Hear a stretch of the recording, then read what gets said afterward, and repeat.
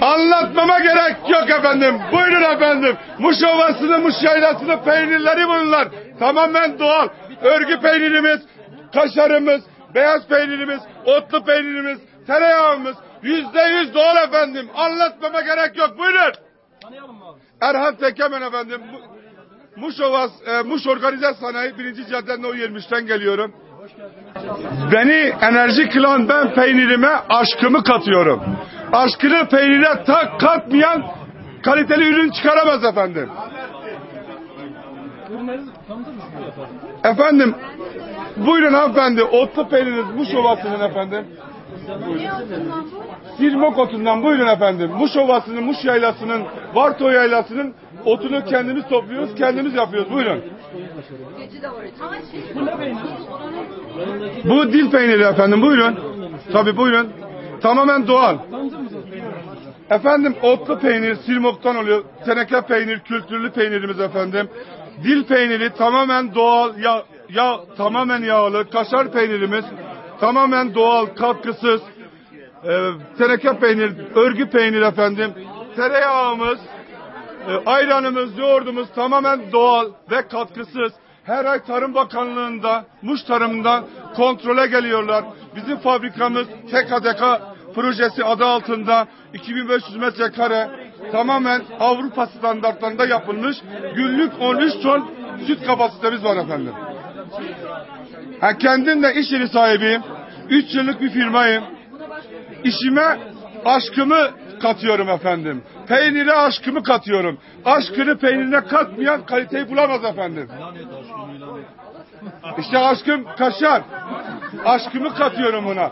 Yani isteyerek yapıyorum. İstemeyerek yaptığın zaman randıman alamazsın efendim. Kaliteyi bulamazsın efendim. Sağ olun efendim. Hangi kanal? Sevgili kanal üyetimi hepiniz merhaba. Ekrem abime bir merhaba lazım. Ve Gülmüş Sadıkoğlu.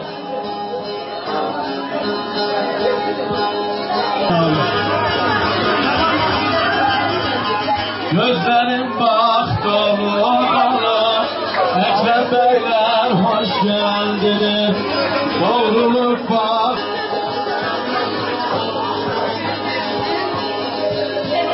Söyleyebilirsin buyurun. Efendim ben diyorum ki adam var orada büyüklük kazanır.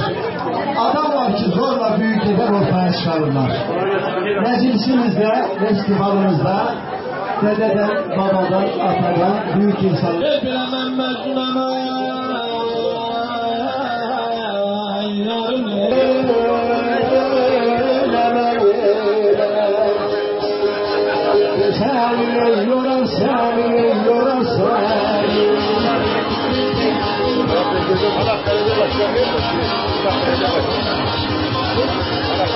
Bahri karamani, karamani, ay karamani, ay karamani. Dinle Şahbaz oğlu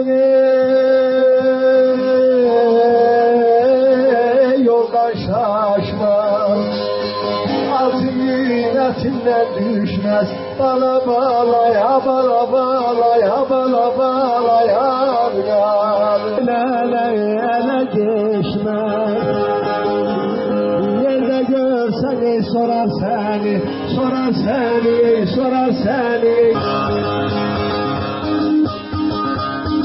Derbel aşık Bilal ay, ay hastasın Ondan bundan soramani Soramani ay soramani ay soramani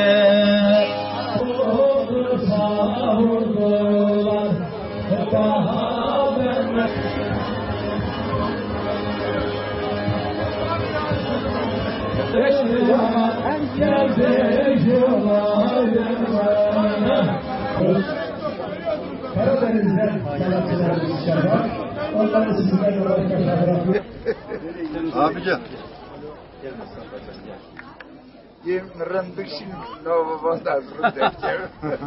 Raşit Oğuz, Aksaray'dan geliyoruz. Aksaray, Karapınar, Konya'da has özel bir küllü peynir, deri küllü peynir. Antibiyotik bu, birebir antibiyotik ya. Koyun, keçi, inek sütünden üretiliyor. Ama bunun en makbulü koyun sütü. Neredeyiz? Kars. Kars'ın neresi? Boğatepe köyünde. Beydizelim şoförü. Öncelikle İlhan Koç, İlhan Koçu'ya çok teşekkür ediyoruz. Böyle bir organizasyon bize imkan sunduğu için, peynirlerimizi tanıtmak için. Ne çeşit peynir var? Bizde küflü peynir var. Divli otluk peyniri var. Peyniri veya tereyağını kadar. Koyun tereyağımız var, kaymağımız var.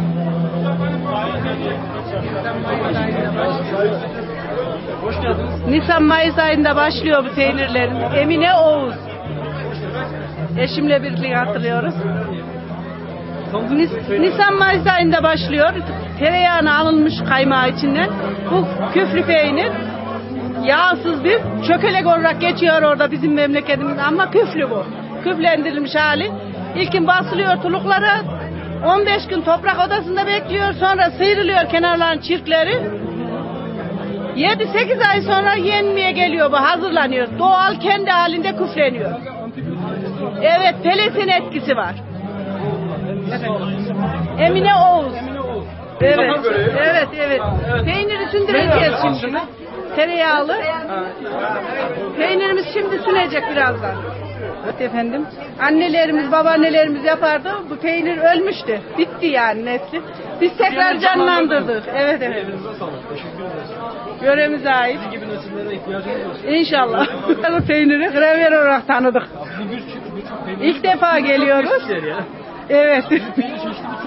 evet evet. İlk defa geliyoruz Kars'a. Güzel, çok güzel. İlhan Koçulu Bey'e teşekkür ederiz. Ben Süleyman Yıldırım, Erzincan tulum peyniri. Erzincan. Bizim kendimize... Ben Erzincan tulum peynirci, e, peynir imalatını yapıyorum Erzincan'da. E, tüketim olarak Erzincan ve İstanbul'da tüketimimizi gerçekleştirmekteyiz. Üretmiş olduğumuz ürünler %100 doğal, natürel. %100 koyun sütü, Akkaraman ırkı koyunda biz sütlerimizi temin ediyoruz. Ve bu sütlerimizi çiğ olarak mayalıyoruz. Kullanılmış olduğumuz maya da e, şırdan. Şırdan da doğal, şırdan evet o da doğal maya. E, tuz olarak da Erzincan Kemal tuzunu kullanıyoruz. Ve doğal olarak üretip halka sunuyoruz. Satışımız e, İs- İstanbul, Erzincan, Türkiye'nin yurt dışına bazı misafirlerimiz alıyor, yurt dışına götürüyor. Fiyatlar şu anda perakende satışlarımız 30. Evet 30 TL. Perakende satışımız.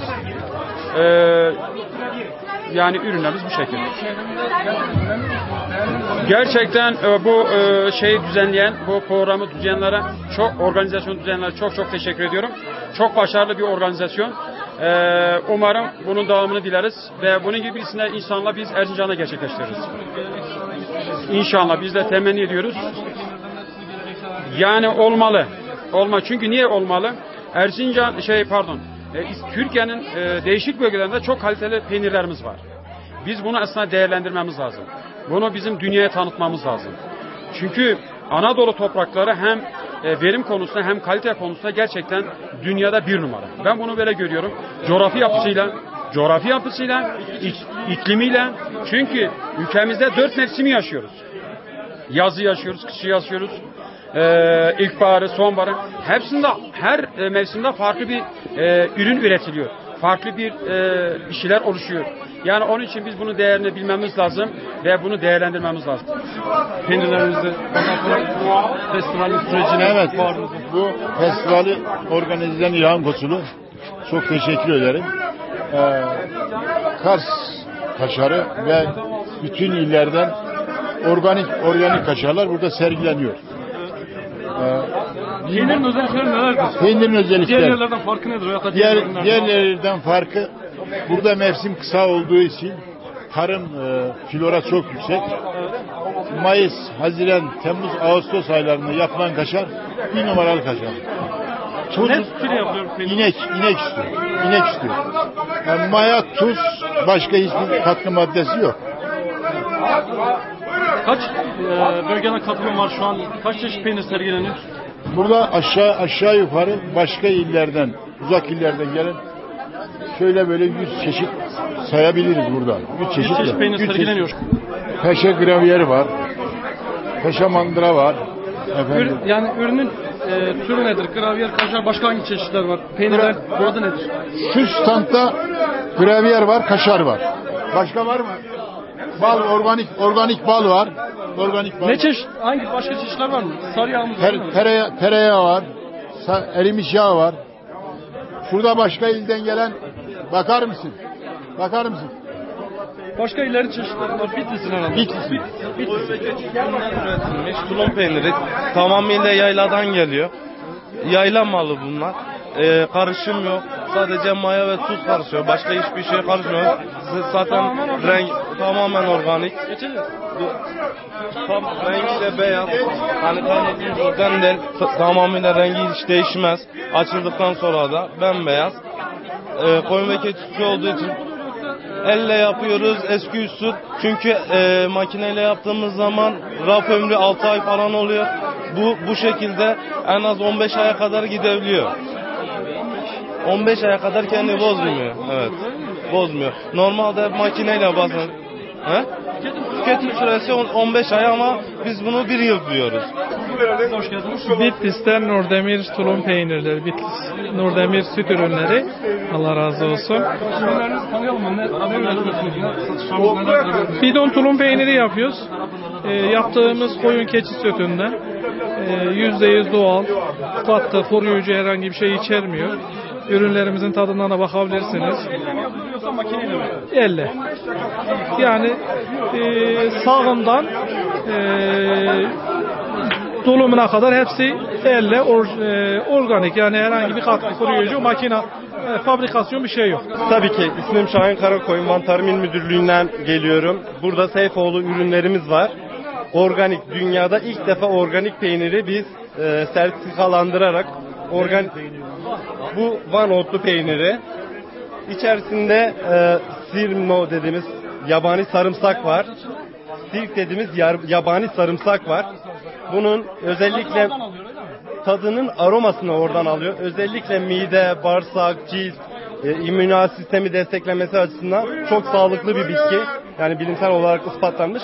Bizim yaptığımız fark şu, biz bunu organik hale getirdik. Yani bizim hayvanlarımızın otlamış olduğu meralar ya da otlaklar ya da beslenmesinde kullandığımız tüm ürünler Tarım Bakanlığı'nın Orser diye firmasından onaylanarak e, işlem görüyor. Dolayısıyla tabi tabi sadece kalite standartı değil organik belgesi. Şu an dünyada tek organik otlu peyniri olan firma biziz. Bunun dışında da ürünlerimiz var. Firmamız şurada gördüğünüz gibi Nemrut Krater Gölü'nün hemen kenarında bulunmakta. Bin bir bitki örtüsüne haiz bir alan.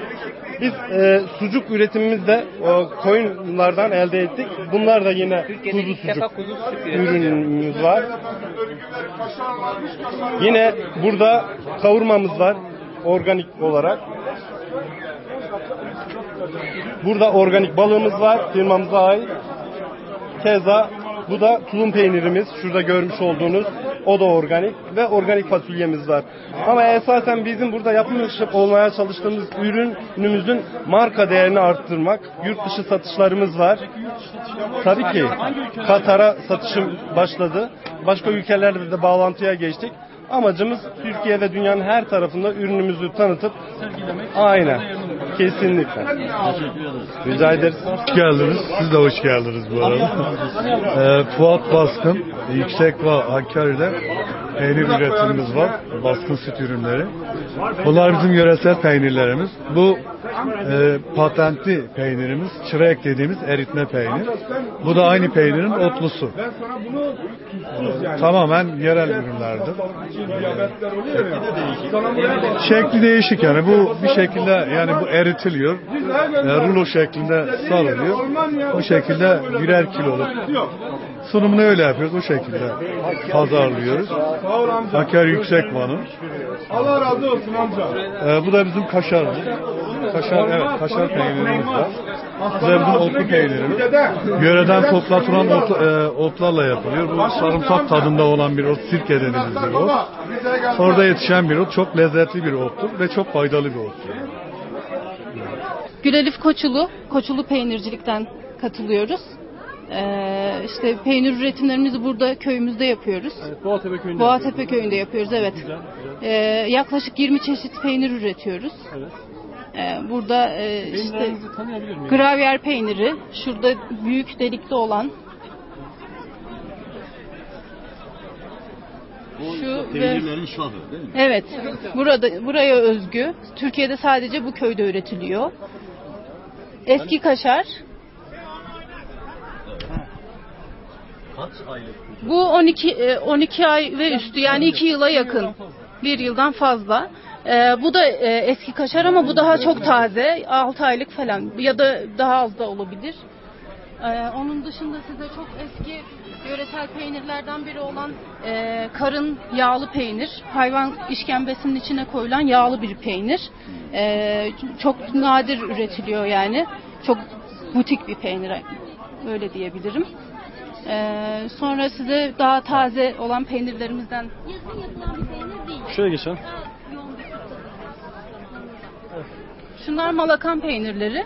Onlar Ee, Malakan peynirinin daha kalıp çok halinde olan. beyaz e, şarapla tüketilen e, aynı zamanda e, az yağ, e, çok yağlı, az tuzlu. Kahvaltılarda da çok tüketiliyor. Çocuklar ve yaşlılar özellikle çok seviyorlar. E, bu et, etli peynir içinde e, kurutulmuş et ve e, tuzlanmış et var. Eski kaşar, bahsetmiştim az önce onun o hali. Taze kaşarlarımız, şurada bütün olarak çekebilirsiniz taze kaşarları. Bu e, tulumma basılmış e, çeçil peyniri. Taş bina. Buradan baktığınızda görebiliyorsunuz. Evet. O da çanak peyniri. Bu çanak peyniri ile ilgili bir size kısaca röportaj kısaca kısaca bir bilgi vereyim. öyle değil mi İlhan Bey? Şimdi Burası size ait bu reyon galiba. ha, bu bu reyondaki Evet, ürünler zaman- bize ait. Karslı yöresel bir fotoğrafçı olarak Kars kaşarının, Kars gravyerinin Türkiye'de ve dünyada tanınmasına vesile olan, çalışmaları olan e, İlhan Koçulu abime destek vermek için ben de e, Kars'a ait özgün bir fotoğraf hediye etmek istiyorum. Teşekkür ederim. Bakalım. Çıldır Gölü'nde çekilmiş bir fotoğraf.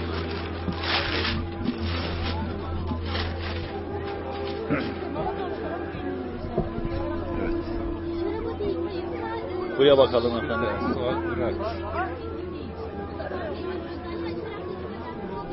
Baharıyla, yazıyla, kışıyla güzel güzel memleketimiz. Çıldırdan bir parça. Çok teşekkür ederim abi. Elinize sağlık, emeğinize sağlık. Çok sağ ol. Ben Boğatepe Çevre Yaşam Derneği kurucu başkanı İlhan Koçulu, kaşar ve gravyer üreticisiyim. Bizim bizim bu etkinliklerimizde Kars tarihinde ilk kez bir ticaret odası başkanını bize yürekten, gönülden hatta hatta çok ciddi zaman ayırıp böyle bizi e, lansmanına da koyarak destek vermenizden dolayı çok memnunum, çok teşekkür ediyorum. Şu anda şu anda Boğatepe köyünde yaptığımız bu etkinlik e, ülkemizin yerel, geleneksel değer ve potansiyellerini açığa çıkarma çalışmalarının bir parçası. Bugün dördüncüsünü yapıyoruz. Anadolu'daki Anadolu'daki geleneksel peynirler, Anadolu'daki geleneksel peynirler Anadolu'nun gerçek kültürel taşıyıcıları ve lezzetleridir. Ve bu bölgenin, bu bölgelerin en temel kalkınma araçları olduğunu düşünüyorum ben. Şundan dolayı çünkü meralarda beslenen hayvanların binbir çiçekten aldıkları besinlerden, sütlerden yapılan peynirler şifadır. Sadece gıda değil. Şifadır. Bu ürünlerin tümü tümü şifadır. Şu üründeki renge bak Allah aşkına. Şu üründe şu üründeki renge bak Allah aşkına. Çiçekten geliyor. Bunu bunun içerisindeki yağlar kısa zincir yağlar. Bu kıymetli bu kıymetli değerlerini, ürünlerini kendi sınırlarından, kendi kabuklarından kırıp önce kendi şehirlerindeki kendi şehirlerindeki prestijlerini çevredeki bölgedeki illerle tanıştırıp sonra ülkeye sonra da dünyaya dünyaya tanıtmak üzere yola çıktığımız bir şey. Kars Kars Kafkasya'nın merkezinde, ön Kafkasya'da Kafkasya'nın merkezinde bir şehir. Tüm Anadolu'daki geleneksel kültürel özellikler taşıyan peynircilerimizi Boğatepe'de topluyoruz. Bu Boğatepe'de toplamadaki amacımız buluşma noktasına dönüştürüp ülkedeki ülkedeki satın almacılarla üreticileri tanıştırmak, üreticileri kendi aralarında tanıştırıp kendi aralarında konuşturup kaliteyi yükseltmek istiyoruz. Bugün 28 ilden 37 tane 28 ilden 37 tane üretici Kars'ta. Peki beklentiniz daha üstte miydi yoksa karşıladı beklentiniz? Beklediğiniz gibi oldu mu? Yani e, beklendiğimiz gibi oldu ama oldu. E, katılım yurt dışından İran, Su, İran, e, Azerbaycan, Ermenistan, Gürcistan, Rusya geliyordu. Onlar e, çıkan aksiliklerle gelemediler. Tarih değiştirmeden dolayı İsviçre, İtalya, e, Fransa ve Makedonya'daki üreticilerimiz gelemedi. 8'inde karar alıp açıklamıştık Şubat ayında. Onlar program değişince birine çekince onlar gelemedi. İnşallah önümüzdeki yıl bu uluslararası uluslararası yerel peynirlerin e, tanıtımı tanıtımı geniş bir programla ticaret odasında desteğiyle daha güzel yapacağımızı düşünüyorum. Şimdi Şimdi peynirlerinizi bir tanıyalım. biliyorsunuz biliyorsunuz e, Kars'ta iki yıl önce yerel geleneksel e, peynirler ile ilgili bir bilimsel sempozyum yaptık, uluslararası sempozyum. Onun kitabını çıkardık. Şu kitapta yaklaşık 110 tebliğ var. 110 tebliğ var. Bu kitap okunduğunda Anadolu'daki peynirlerin ve dünyadaki Nasıl peynirlerin e, üretildiğinden ziyade e, önemini önemini anlatan bilimsel makalelerdir. Bölgelerdeki üreticilerin e, sunumlarından oluşan bir kitaptır. Şimdi biz burada biliyorsunuz bir peynir müzemiz var. Bu peynir müzesinin en temel görevlerinden bir tanesi Anadolu'da Anadolu'da ve bölgede yapılan giderek unutulan peynirleri yeniden canlandırıp pazara kazandırmak. Şimdi şu elimdeki peynir çanak peyniri. Kars'ta kaşar peyniri üretilmeden önce tüken peyniri ya da bakkal peyniri diye üretilen en fazla en fazla üretilen peynirdi. Kaşar peyniri bunun yerini aldıktan sonra daha üretimde bunu bastırdı, bu unutulmaya başladı. Oysa oysa biz biliyoruz ki her peynir insan gibi Ayşe Fatma gibi Ahmet Mehmet gibi Kendi kimliğiyle, kendi özel kimliğiyle ifade edilir. Bu kaybolan değerimizi yeniden kazandırmak için yaptığımız bir çalışma. Şu şu peynir yine Kars'ın solmayan renkleri, solmayan çiçekleri Malakanlar döneminden kalan, giderek Malakanlar gittikten sonra unutulan, onların şarapla birlikte tükettikleri bir peynirdi. Onlardan aldık, öğrendik, yeniden üretip yeniden pazara kazandırdık ki yani 3 yıldır küçük küçük pazara vermeye başladık. Çok hızlı bir pazar payı oluşturuyor. En temel özelliği kulak memesi gibi bu da yumuşak olacak. Bakın bu da yumuşacık. Kulak memesi gibi. Ağızda süt, süt ve krema tadı bırakır. Yaşlandıkça, yaş ilerledikçe 3 aydan sonra tereyağı ve peynir tadı daha öne çıkar. Gençken asitli şaraplarla olgunlaşması ilerledikçe de olgunlaşması ilerledikçe de şeye dönüşmektedir. Tadda Tat- değişim oluyor, Tabi tabi. Peynire göre değişiyor. Gravyer peynirimiz gravyer peynirimiz e, Kars gravyeri biliyorsunuz. Onu çok uzun anlatmayacağım. Yani Türkiye'de herhalde tek gravyer burada üretiliyor öyle değil mi? Şimdi Türkiye'de gravyer sadece Kars'ta üretiliyor. Sadece Kars'ta Yani bölgeye üretiliyor. has bir peynir bu. Ee, kökleri İsviçre'ye dayanan kökleri İsviçre'ye dayanan e, İsviçre'de Emmental ve Gruyère'in arasında bir proses tarzıyla üretilen onun için adını Gravyer peyniri olarak alan bir peynir. E, Boğatepe köyündeki üretim de Avrupa'dan Presidium aldı. Yani özel üretim, özel koruma üretimi almış bir peynirimizdir. Renk bak, rengin güzelliğine bak Allah aşkına. Bu içindeki gözlerin her birinde, her birinde 100 bin bakteri yaşamakta. Bu bakteriler bizim beslenmemizde, kolon beslenmemizde hazım sü tabi hazım sürecini, hazım sürecini rahatlatan, kolaylatan bakterilerdir. Şunlar, şunlar. Onun ekler, için tabii onun için bu kahvaltı peyniri değil. Bu bir şifa kaynağı, ilaçtır. Yemeklerden sonra yenmesini öneriyoruz. Yine Kars kaşarımız eski Kars eski kaşarımız Kars eski kaşarımız coğrafi işaret aldık biliyorsunuz. 2015 yılında giderek ülke genelinde giderek ülke genelinde prestijini her gün biraz daha artırıp tüketiciler arasında sadece peynir değil bunun da bunun da şifa kaynağı bir gıda olduğunu yaygınla bilgisi yaygınlaştıkça talep kadem katma katma artıyor ve çok mutluyum çok mutluyum şu anda Türkiye'de A plus marketlerde satılmaya başladı ve hak ettiği yere ağır ağır gidiyor.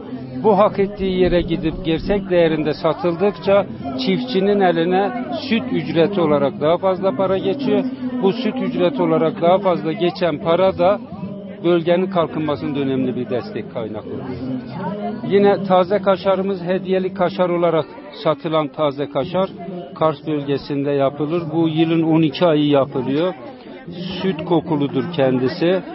Süt kokulu bir peynirdir. Ee, kahvaltılarda falan çok yoğun olarak kullanılıyor. Şunu, şunun güzelliğine bakın. Bu peynirin ismi ne? Bu peynirin ismi Ardahan'da tel peyniri olarak geçer. Kars bölgesinde de Türkmen Bu- saçak olarak Peki geçer. makineyle mi yapılıyor yoksa? Bu elle yapılıyor. Bu Anadolu kadınının Anadolu kadınının göçer kadının daha doğrusu göçer kadının el emeğidir bu. Nakış gibi, kurutularak kilim mı? gibi, kilim gibi. Bunun tüketilme bu bir yapılır. Yapıldıktan sonra böyle bırakıyorlar bunu askıya mi? Kuruyor. Bu dört yıl bu haliyle bekler. Dört yıl Bunu içinde tüketilebilir. aldın, ihtiyacın kadar. Şuradan kestin, suyla ıslattın, taze taze kıvamına dönüyor. Ya da peynirin üstüne doğradın, avcunla ovdun, salatanın üstüne, e, şeyin, e, eriştenin üstüne, makarnanın üstüne döktün. Nereye döksen orada kullanabiliyorsun. Yani kullanım alanı geniş. Tabii, kullanım alanı çok geniş, görseli çok iyi. Türk mutfağının her tarafında yer alıyor, Tabii, değil mi? Tabii öze- özellikle özellikle bu peynir e, Kars bölgesinde unutulmaya yüz tutmuş bir, çe- şey, bir çeçil, şey, çeşitti. Müzeyle birlikte bunu canlandırdık. Şu anda yıllık 5-10 tona çıktı ama emin olun Avrupa'daki tüm sergilerde en fazla sükse yapan peynir. Biyodinamik bir peynirdir. 4 Peki yıl yaşıyor. var? Kullanım kullanım şey, saklama kolaylığı ve kullanım faydası var. Çok ciddi İnsan çok ciddi faydalar, çok ciddi çok ciddi çok ciddi protein içeriyor. Protein desteğidir. Çok ciddi bir protein desteğidir. Vejeteryan arkadaşlara öneriyorum. Kars Türkmen saçak peyniri. Vejeteryan arkadaşlara öneriyorum. Her şeye her menülerine kullanabilirler. Başka ne çeşit peynirleriniz Yine vardı? Çomaluru. Hemen abi. Şimdi bu çomaloru gittikçe her gün her gün tereyağının kıymeti anlaşıldıkça Kars bölgesinde Kars bölgesinde yeşilli, yeşilde beslenen hayvanların sütünün Şıratla mı çıkıyor bu? yok sütünün kıymeti anlaşıldıkça Kars'taki yine geleneksel peynirlerden sütün yağı alındıktan sonra Ha, tamam, yüz yağ. yağı alındıktan sonra altında kalan Kalan yağsız süt Yağsız sütten ekşitilip ekşitilip çomada elde ediliyor, nehrede elde ediliyor. Bu da hem yemeklerde hem de e, kışın e, yemek karnilerinde önemli bir yeri var. Peki, Yeşilliklerle karıştırılarak. Şurada bir e, tulum içerisinde. Peynir Şimdi var. Bana bakabilir miyiz? gravyeri biliyoruz. İşkembenin içinde olan bir peynir var. Oh. Şu peynir. Şu, şu peyniri biraz süt, ha, tulum. Şunu tanıyanlar şu işkembenin içine koymuşlar. İşkembenin içerisinde, işkembenin içerisinde olgunlaştırılan Ne bir kadar süre tulum. bekliyor bu? Bu tulum bir buçuk yıllık. Bir buçuk yıl. Bir buçuk yıllık. Yine e, şöyle bir şey söylemiş olsam çok abartılı olmam. Bu peynir 7000 yıllık bir peynir. Niye 7000 yıllık? İnsan evladı peyniri ilk sütü bunun içerisinde taşıyordu. Sütü bunun içerisinde taşıdığı dönemde Mayalanan bir gün süt mayalandı, peynir bunun içinde başladı. Peynirin tarihi bunun içinde başladı. Peynirin çıkış noktası Peynirin budur. ilk çıkış noktası hikaye bu, bununla başlar.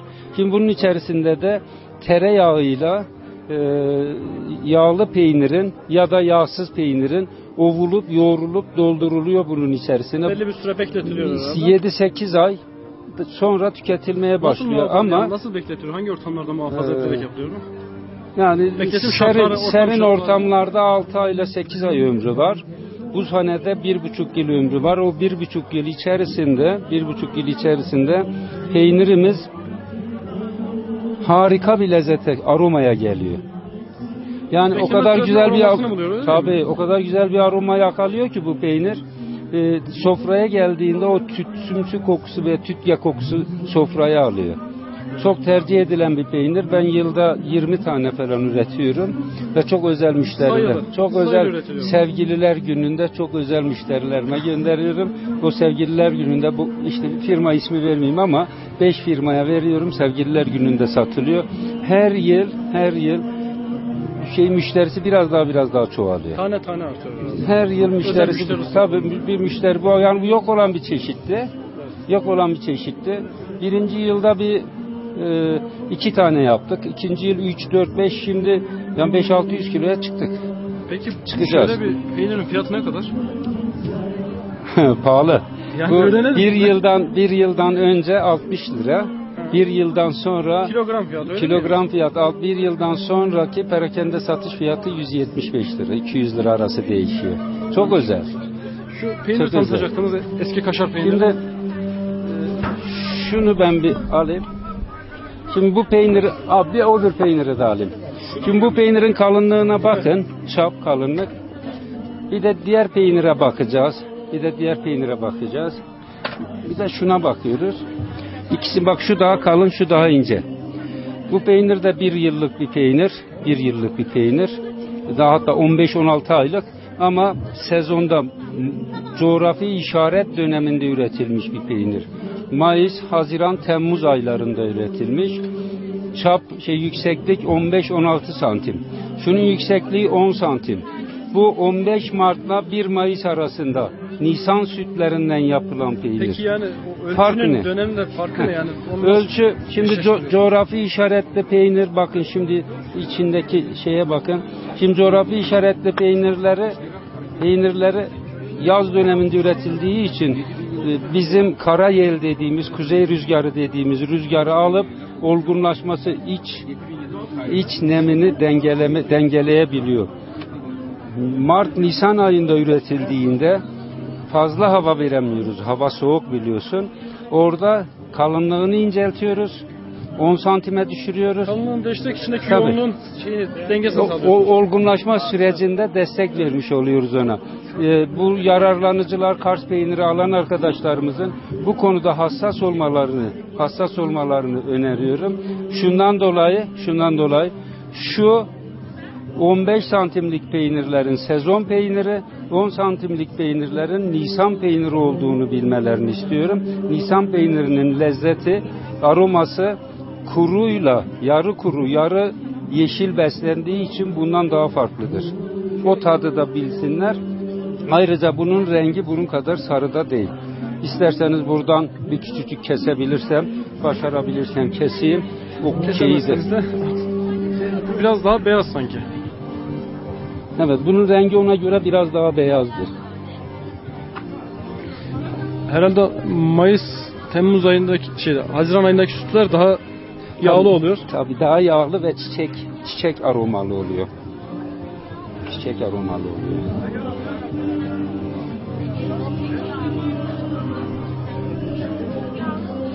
Bak. Evet. Koklayalım.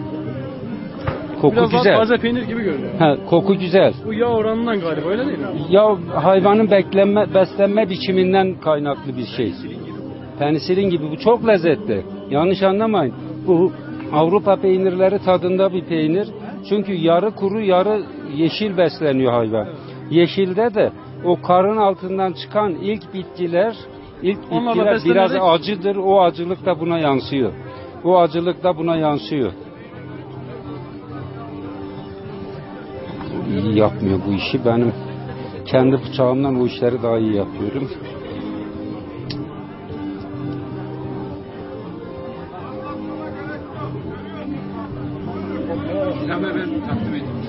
Yok ben buradan tattırdıkça